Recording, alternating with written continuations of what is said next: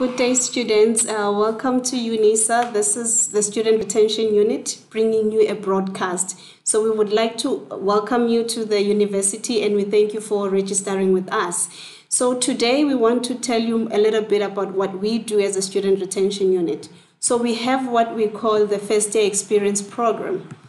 So, the aim is to provide you with extended support since you are coming here for the first time. So it's crucial information at, at, at a point where we feel you need it. So we're gonna be with you throughout your student journey. So we bring you information that we believe is, is helpful to you. So in partnering with you as a student, we want to integrate all the broad information and support services that the, institu- that the institution offers so that we ensure that you receive all the re- relevant and important information and we want you to have it on time. So, what we do as a unit is that we send out FYE emails.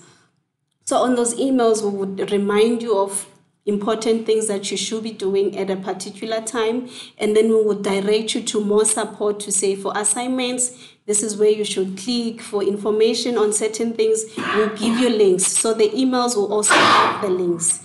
So we also give you the broadcasts of which we invite people from di- different departments in the institution so that they come share information with you. So today we have Mr. Shabangu from education and we have um, from career development. So they'll bring you information that we feel is important, and so please do pay attention. So on our broadcast, we'll also have things like uh, someone from library services to to help you prepare for when you need to borrow books or use the library, and someone from um, DCCD who's going to take you through exam preparation, assignment preparation, and all that information. But we also want you to also tell us more more about what you want. So we might be giving you information, but you might have ideas of what other students might need. So please send us emails to, to inform us about that. So about we also have a mailbox. So our mailbox is, is a way of communicating with you students. So we we'll share the mailbox towards the end. You can send us queries when you are struggling with anything, whether it's college related, whether it's it's, it's, it's a personal issue, we'll be able to direct you to the right people. So please make sure you use our mailbox. We also have a website which, which has um, all the information about what we do for, for our first year students. So please go to our website. The link is also towards the end of the presentation. So you can go to our website and you'll find our contact details there and you can communicate with us and we'll respond to you within 48 hours. And we also have what we, we call the First Year Experience Massive Open Online course. So this course is, is a form of orientation and it's, it's, it's, it's designed to make sure that we familiarize you as a student with the environment that UNISA is. So it has um, UNISA Readiness Tool, preparing for ODL, it has information on UNISA, um, using my UNISA, library orientation, digital literacy. So please make sure that you take part in our FYE MOOC. It, it has very relevant information that you might that you will actually need throughout your studies. So it's orientation that you can always go back to. So it's not once off. It's it's at your finger, uh, at, at, at, in your fingers actually, because you can even use your cell phone to get into the MOOC. So on that, I would like to welcome Mr. Shabangu. He's gonna give you very important information. So please pay attention and ask us questions. I'll respond to you and um, share share the video also with other students. And let's welcome Mr. Shabangu.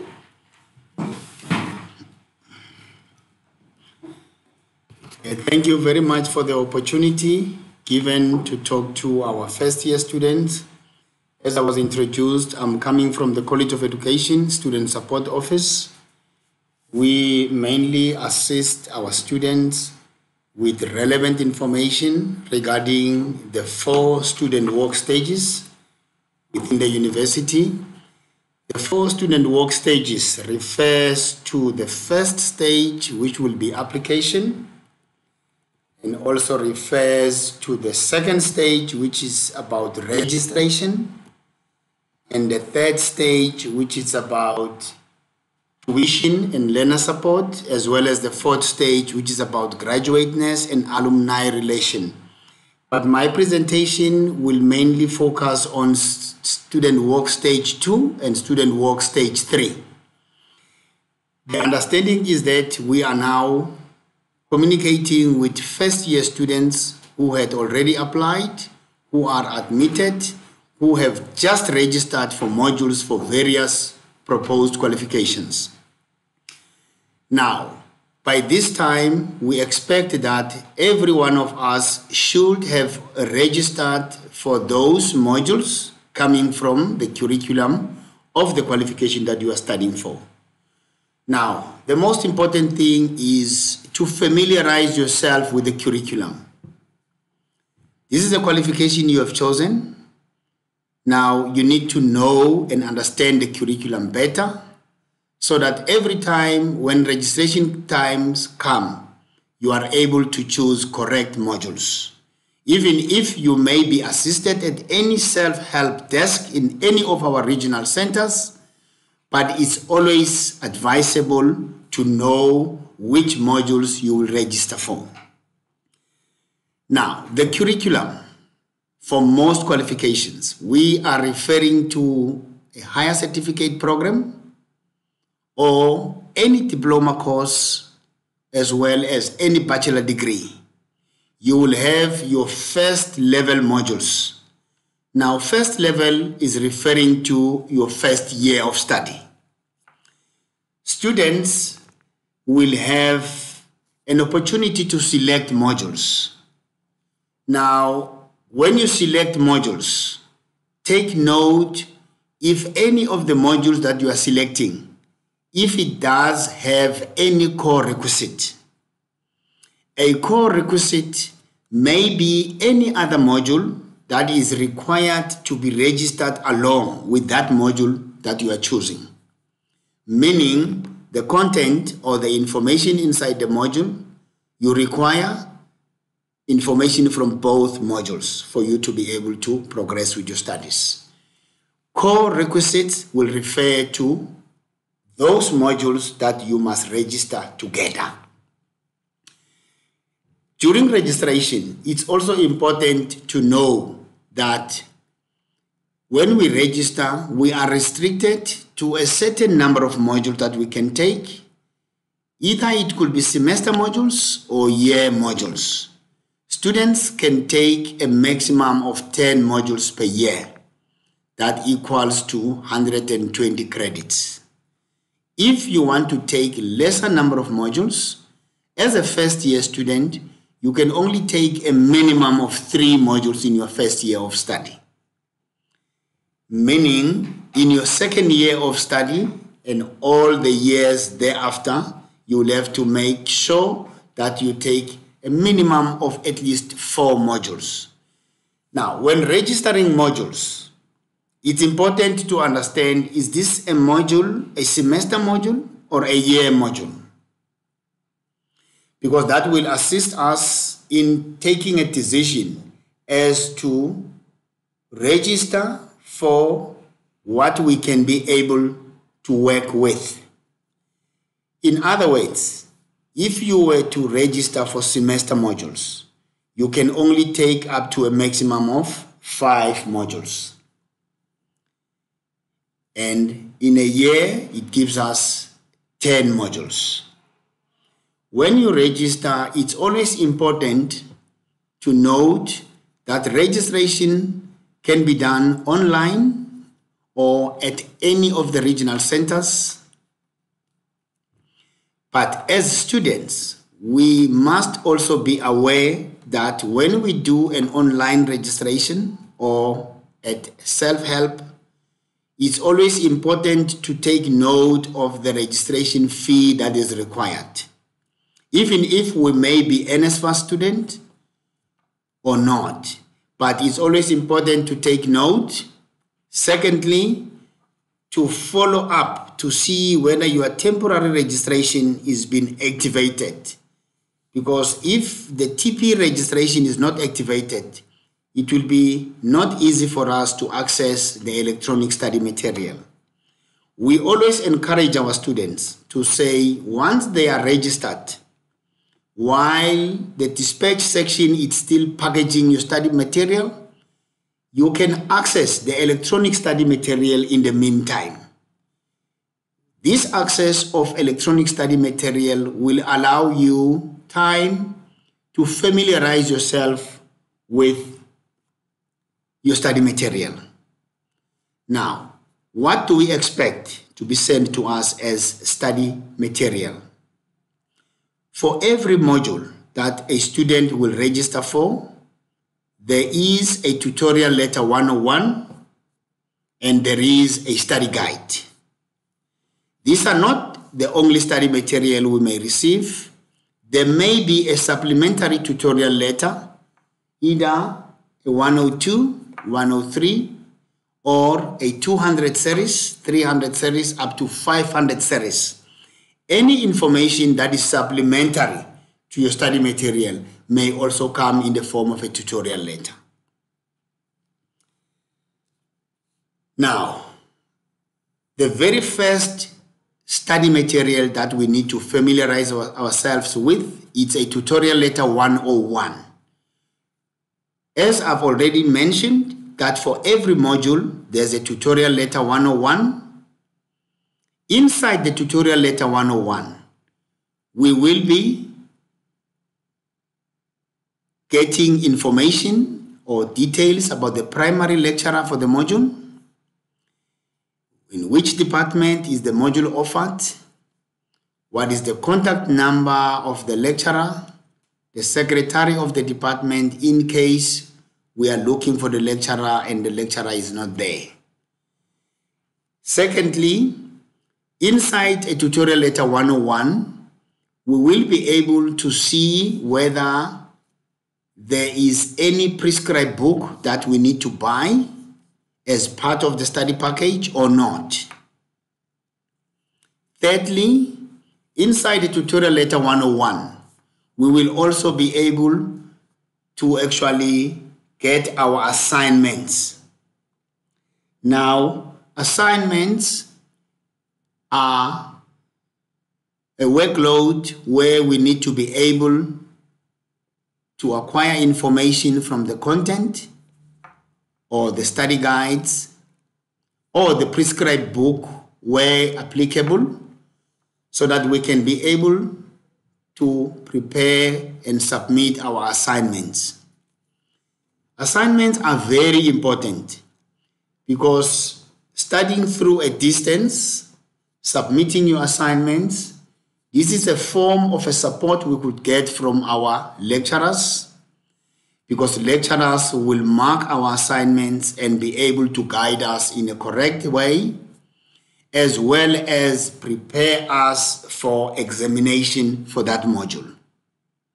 We also need to communicate with our lecturer in terms of support we will not only get the support through the marking of assignments, if there's any question regarding the content, the primary lecturer is the relevant person for us to contact so that they can be able to support us. Now, I just want us to look at the assignments. For every module, especially your semester module, inside your tutorial letter 101, you will see that there will be two sets of assignments. There will be your first assignment and a second assignment. Now, those two assignments you will have for first semester and you will also have another assignment, one and two for second semester. Every assignment will have its own unique number. And every assignment must indicate an assignment number. Is this an assignment one? Is this an assignment two? This information will be helpful for the administration processes when these assignments are registered. Remember also to register your unique number for every assignment. It's different though with your year modules. Your year modules, you will be expected to submit your assignments during the year and prepare for your exams for October, November. Whereas a semester module, if we are registered for a semester one, we will be expected to submit all assignments prescribed for the module between the month of March and April so that we could be able to get the feedback for us to be able to prepare for examinations. Inside this tutorial letter 101, you will also take note of the due dates for submission of those assignments. It's important to plan our studies so that we can be able to meet all those deadlines for submission of assignments. Because any assignment that is submitted after the due date without arrangement with the primary lecturer will not be marked. Students have got an option of either submitting assignments through hard copies or submitting the assignments online. But over and above, you will come across an online module for every qualification. Now, an online module will not have a hard copy study material. And online modules, their assignments are strictly submitted online. There's no option for hard copy assignments. It's important to submit assignments, one, so that we can be able to get admission to an examination so that we can be able to get a year mark. A year mark meaning that this will be a year mark that will contribute to your final mark that you will obtain from your exam. So it's very important to make sure that we submit our assignments which will assist us in getting guidelines from the lecturers, as well as qualifying for examination, as well as being able to acquire our year mark. Now, when it comes to that period of writing an exam, what do we need? As a first year student, it's important to note that you need to receive a final timetable with the confirmed dates and times when the exam for that module is written. You are advised to arrive at the exam venue at least 30 minutes before the start time. And you must be seated 15 minutes before the start time. You will be required to bring along your identity book or identity card in order to be allowed into an exam venue. You will also be required to bring along a copy of your timetable so that the invigilators can confirm if you were admitted to an exam. Make sure that you familiarize yourself with the exam venue so that when you go for your examination, you can arrive on time you know exactly where you are writing your exams. Normally, when we register during our registration period, you will, we will always have what we call a preliminary timetable. But the final timetable will be made available on my UNISA anytime from the first or second week of April for a semester module for a year module, it will be around August. So it's, it's important that we confirm that our exam date, our exam dates as captured on the system that we are familiar with. It's very possible that the exam date may change from the preliminary timetable that was showing during registration. Now, it's also important that when we go for our examinations, that we must keep there's a tear of sleep that you will always get when you sit in for an exam. That tear of sleep will serve as a proof that you attended, you wrote the exam, in case anything could happen to your script during the transportation between the exam venue and the university. Always keep this proof until the results are released so that we can be able to assist you in case of any challenge that may come which is beyond our control. Then that is the information that talks to registration, what we expect to get once we have received the study material, what information we should look for, what assignment we should do, and so on and so on and so on. Then it, we now going over to a, a third student work stage, that is tuition and learner support. Now, tuition and learner support, even though UNISA is regarded as a distance university, but we've got support systems in place to support all our students. Just know that we've got e-tutors. These are tutors who support our students through online for a number of modules, especially first year modules. We also have face-to-face -face tutorials, but face-to-face -face tutorials is for other modules, not for all the modules. And these tutorials may only be offered in various regional centers. We just need to check with our regional center if there are any face-to-face -face tutorials for the modules we are registered for. And students must also access the MyUNISA portal.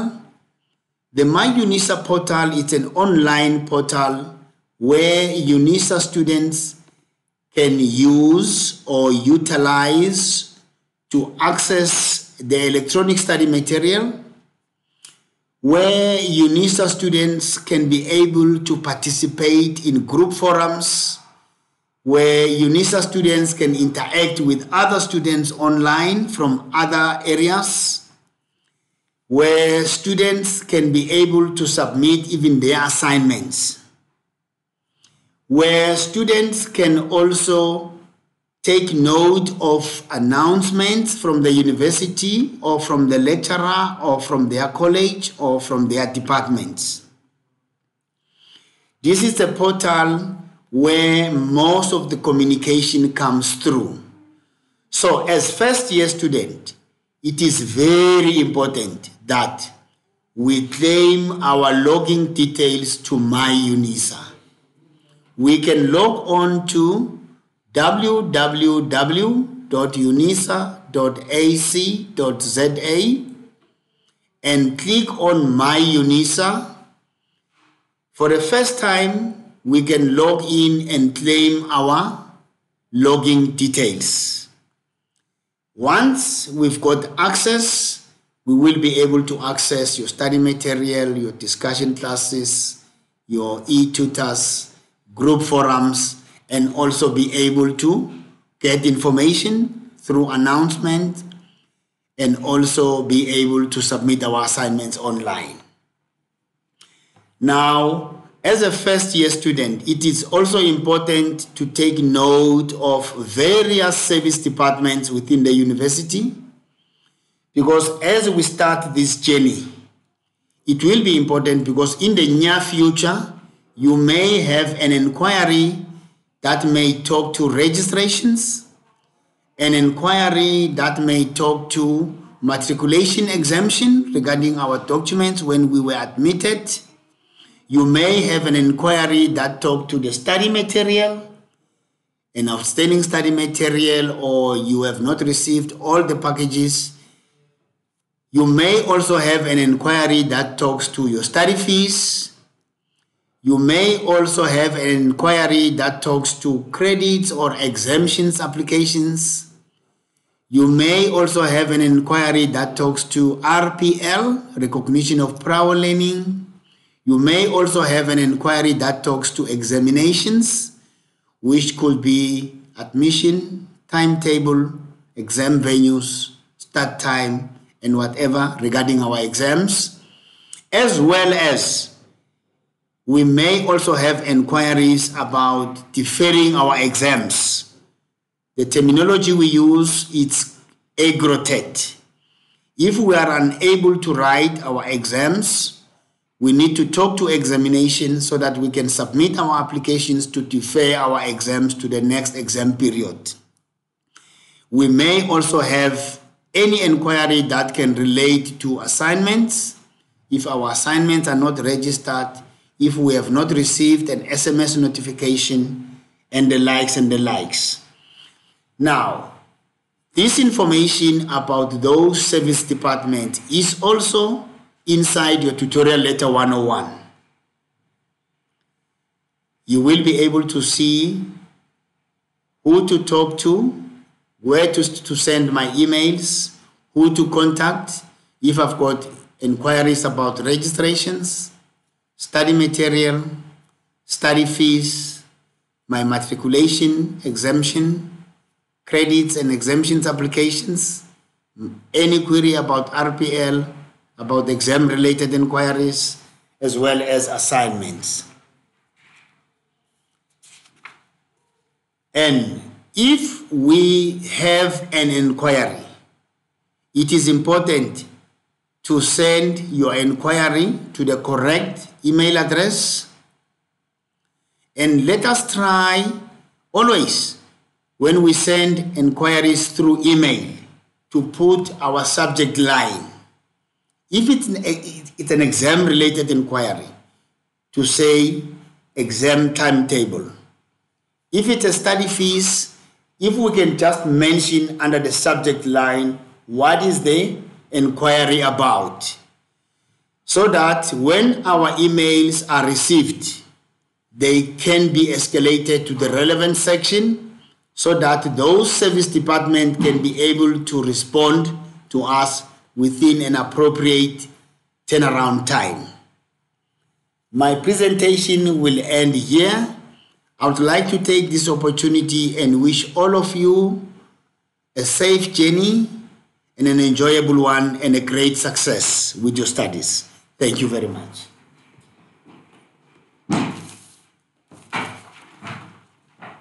Thank you very much, Mr. Shabangu, for the beautiful presentation. So I hope you paid attention and please share the information with other students because this is very uh, helpful. So now we're going to welcome Mr. Kagiso from Student Counseling. So Kagiso is going to take us through what we call time management. So remember you're studying through distance now and you won't be having lecturers next to you standing in front of you and giving you information. So he's going to take us through time management. Please pay attention and please share with other students. Kagiso, welcome.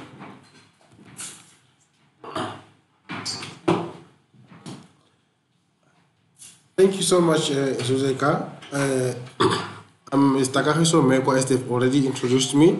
I'm a student counselor from the Florida campus, but we are reachable that wherever you are, you can drop us an email and we can also direct you to the nearest student counseling center that you can use in your own region.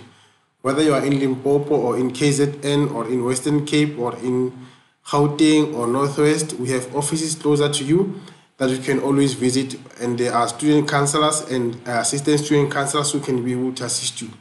So, what I want us to talk about today is the issue of time management. As a student, it is important to know that we are always working against time. There's always time for everything. There's time to register, there's time for applications, there's time for assignments, there's time for exams. So make sure that you adhere to the allocated time and also due dates. It is important that you submit on the due dates it is important that you also schedule your time accordingly for your studies and also for relaxation purposes. So time management it is a very rare and important skill that makes one stand out above the rest.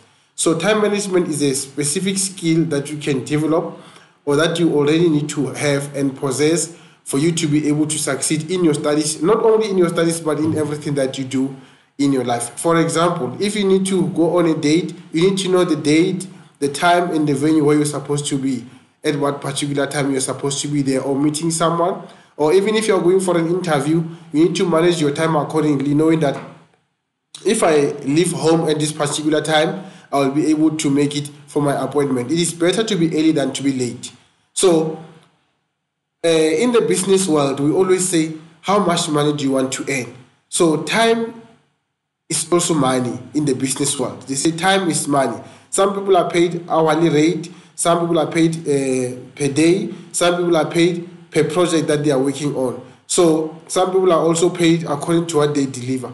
But time is of very much in essence in terms of your studies in UNISA. You will realize that there has been some disturbances with the strikes, with the delay of you getting study materials. But immediately when you get your study material, you need to check your tutorial letters 101. As Mr. Shabangu was saying that you will receive study material and tutorial letter 101 it's important that you look into that one and check on the assignment dates, you check your examination dates and the times that you're supposed to submit your exams. So make sure that you take care of your time accordingly as expected from you. So when we say time versus money, uh, on the other hand, I have money, on the other hand, I have time. Like I indicated that uh, time can be measured in rands and cents or in dollars or in whatever currency that you are using. And time can also be measured in thousands, uh, uh excuse me, uh, money can be measured in, in thousands and millions in with zeros. They, they can also be fees per modules. They can be also salary or your earnings, your weekly wages or your weekly uh, earnings. Time, on the other hand, is measured in terms of hours. So even if you get your ex- exam paper or you are given an exam to write, there's time allocated. It can be a one hour paper, it can be a three hour paper. So if you don't plan your time accordingly, you might find that when they say time up, you find that you are not finished because you were relaxed and you did not even check how much time is allocated per module, uh, per paper that you are supposed to write. Time is also measured in terms of weeks and seasons, like your tutorials and your exams. So there are time for tutorials, like your face-to-face tutorials that you need to attend to, there are times for exams. When time for exams comes, you need to have prepared yourself thoroughly and finish your scope or your, your material that you are reading to prepare for your exams. Time can also be measured in terms of months and years. For example, your higher certificate can take you up to a period of 12, 12 months minimum and a maximum of three years. Degrees can take you a minimum of three years and a maximum of uh, eight years or 10 years. So depending on what degree you are doing. So be careful that you don't miss out on the time because if you relax too much, you might find that they tell you that the qualification that you are registered for is going to be phased out or you have to move over to a new curriculum because you did not complete on time. So make sure that you adhere to the time allocated for you. And there are time differences and uses. There's a time for everything, as I already said initially. A time to plan and the time also to execute. Some people they are forever planning. Some people are always daydreaming, say that you know one day is one day. I'm gonna do this qualification. I'm gonna finish all my exams. But if you don't look at the time and you don't execute, you don't study, you don't put in your assignments, you don't put in the effort and do your group studies, be careful about that. That you might not be able to finish your studies. And there's also time to study. Once you receive your study material, already you check at the dates in the calendar when are you supposed to submit your first assignments and how much time do you have to prepare for those number of chapters in order to be able to finish and submit a quality assignment. There's also time to relax and there's also time to take a break. Some people are forever on break, but those who are dedicated and committed to their studies, they put more effort into their studies and take little time to take a break or to relax. There's always time to, to take a breather, so make sure that you don't take the whole day studying because you might find that at the end of the day, you never captured anything in your head. So make sure that you allocate enough time that you need to uh, look into it. And there's also time to put more effort. Uh, closer to exams, you need to do, have time for revision. You need to have time to do what you need to do. Uh, for example, there are people who forget to prioritize. There are those who spend time with their friends all the time, they don't study. Come time for exams, Eh, they did not finish their studies, they did not finish their scope, and it's time for exams. There are people who are always partying. We don't say partying is wrong, but always allocate time for your studies. partying is good and nice to refresh yourself, but always look at what is most important for you. And there are also benefits for proper time management. If you manage your time properly, you'll have less stress. That's number one. That's the number one benefit. You'll be in a relaxed mood Second benefit is that you're going to be motivated and be positive. But people who do not manage their time properly, they find themselves under stress and not being able to achieve whatever goals they have set for themselves. Number three benefit is you will have great results and outcomes because you manage your time properly. and then you are able to relax. Sometimes you even finish your scope before the allocated day for exams, and you can get time to relax. Also have uh, the other benefit is is that you need to learn to prioritize. Know the difference between what is important and what is urgent. Some people don't understand what is important and what is urgent. What is urgent is what you need to do as in now or that needs to be done as soon as possible. Yes, it might not be important, but you might need to do it urgently at that moment. Sometimes what you need to do is important, but not so urgent. So you can put that one for a bit later. That even if you don't do it at that moment, you can put it later. For example, going to visit a friend might be important to you, but it's not urgent. So visiting him and having a chat about the game that you saw over the weekend or just going to hang out is important, but not so urgent. You can do it any time of your life. So there are some steps that you need to look into. Number one, you need to set your goals correctly. So for you to manage your time properly, set goals. Tell yourself, by this time of my life, I need to be somewhere else. I need to be at this particular place. Or I need to have achieved this particular number of modules before the end of the year or before 2022. Secondly, prioritize wisely. After you set your goals, yes, you have a list of goals that you put down there. But what comes first? What is most important and what is urgent and what is not urgent? And also you need to set time limits to every goal that you set. If you're going to spend 10 minutes in a particular module or you're going to spend two hours, make sure that you adhere to those times. Don't overdo it just because you're enjoying it. Don't stick to it only, but also focus on other things. Number four, you need to take breaks between your tasks. So for you to be able to adjust and to adjust yourself, from one task to the other or from one module to the other, you need to have breaks in between so that your mind can also uh, get a reset button.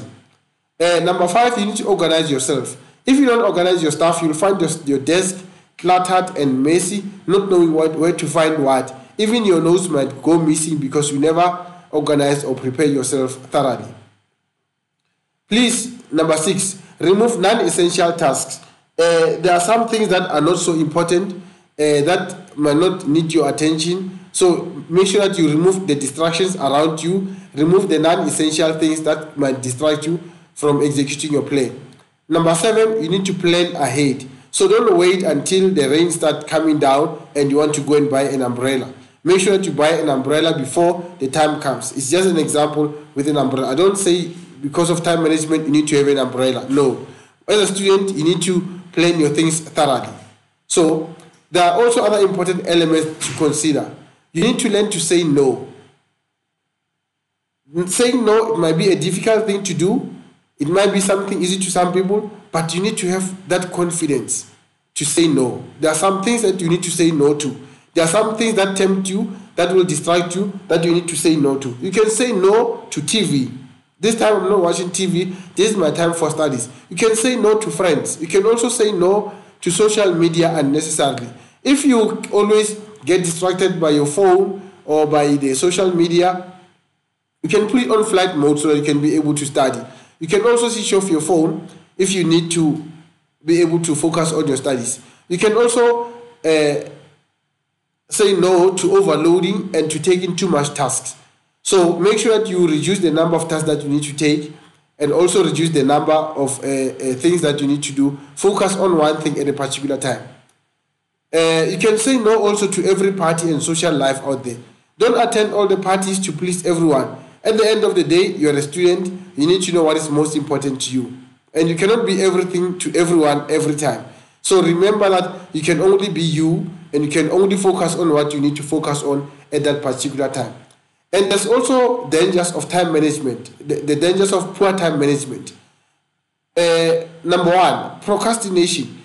Having to postpone over and over again. If you know that it's a Sunday, you are saying from Monday until Friday, I'll be on my studies. Then come Monday, you want to postpone just because you don't feel like studying. Please don't. Make sure that you do what you have to do when you have to do it. Number, uh, the, the second thing that you need to also be careful about, one of the dangers is delays. Like we had the strike, a strike delayed us. There might be other things that are delaying you, like the late arrival of your study material. Those are the uh, issues of poor time management, lack of planning. If you don't plan properly, it might cost you uh, from proper time management. If you don't plan pr- properly, you might find yourself studying chapter 1 instead of be, you having to be at chapter number 8. And also being careless and too relaxed. So sometimes, if you have a proper time management, you'll always do things accordingly, according to your days and the times that you set for yourself. So now, sometimes you find that you lose a track of time of what you were supposed to do. How do you regain your lost time? Is it possible to regain lost time, or is it not possible? Whatever time that you lost, can you try to squeeze in it somewhere? So yes, there are different things that you can do to regain the lost time. There might be other things that you were supposed to be doing instead of you studying. So you can even ask people to help you. You can also go to friends to help you to catch up with your lost time. You can even contact your tutors or your lecturers in terms of what you needed to do at that particular time. So make sure that you try to regain as much time as possible that you lost so that you have enough time for your studies. Make every second count. Tomorrow is never promised to anyone. So don't wait, put things uh, for tomorrow. If you have time to do something today, do it today. Don't say I'll do it tomorrow because you never know what might come out tomorrow. Sometimes you plan your things thoroughly and you get a phone call that uh, one of your loved ones is sick or has passed away. That is going to frustrate all your plans. So make time to show, make, make time that you, uh, you, you, you execute what you need to do at that particular time and make time for yourself. Don't always make time for everyone else except yourself. So make sure that you don't overload yourself. Don't make, don't kill yourself trying to study at the last minute. And this thing of students trying to cross night so that they can catch up on the scope is also dangerous because you never know what is happening. Things like load shedding, things like uh, traffic jams, these are the things that you have to plan for accordingly, knowing that if the electricity is not uh, gonna be there, then I need to know what to do in terms of covering for all my studies. So with that said, I just want to thank you and I wish you all the best in your studies. Make sure that you are you are refreshed, you eat well, you sleep enough, and then make sure that you look after yourself. Thank you so much and all the best for 2020. If you have any questions, feel free to drop me an email. If you need to know which office is closer to you that we can refer you to for student counseling, and in student counseling we deal with different issues. It can be academic, can be personal, can be issues of relationships, can be any other thing that you need us to help you with drop us an email and we will also contact you back. Make sure that you include also your cell number on your email that we can get back to you. Thank you so much and all the best.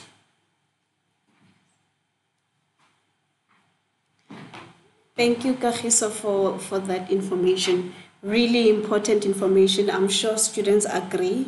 Please make sure that you take everything that Kagiso has said. It, it must stick to your mind. If it has to be at heart, let it be. But make sure that you, you pay attention and make sure that you save time, make sure that you study on time, make sure that you do everything on time. Don't leave things to last minute because you're going to find yourself in trouble. So with that said, thank you very much, students, for, for, for, um, for taking your time and, and being part of this broadcast. When you have queries, please reach out to us. Um, and our email address is fye at unisa.ac.za. And we would also like for you to participate in, in our FYE MOOC. Like I said before, it's a first year experience, massive open online course. So to get to the MOOC, please go to mooc.unisa.ac.za. So once you get there, you go to FYE MOOC 101, FYE MOOC 102, FYE MOOC 103. Please participate in those MOOCs and answer the questions that come with every session. I'm pretty sure you're going to enjoy everything. When you have queries or questions, please feel free to also post on our MOOC. If you don't want to post on our MOOC, send us an email at fye at unisa.ac.za. You can also visit our website at www.unisa.ac.za forward slash capital letter FYE. Our website is also available on my UNISA. Would like to thank you and wish you all the best. And until next week, please enjoy this broadcast. Please send comments, put your comments there. I'll respond to you. Thank you, students, and all the best with your studies.